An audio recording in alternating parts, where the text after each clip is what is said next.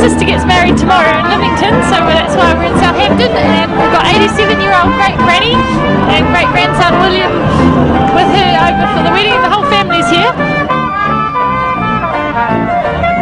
The reason we've come here today is because it's a national event. It brings the whole country together and the whole world is watching.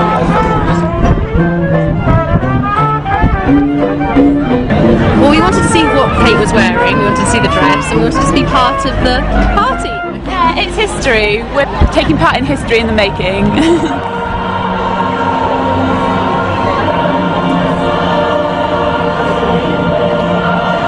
It's nice to have a day of British togetherness because it doesn't happen very often. So I thought, while I could, I'd give it my all and celebrate it properly. We're having a lovely day, yeah, absolutely enjoying ourselves. Fantastic.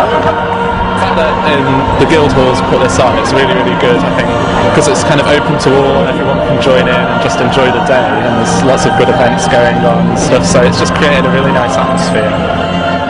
in the face of this congregation to join together this man and this woman in holy matrimony.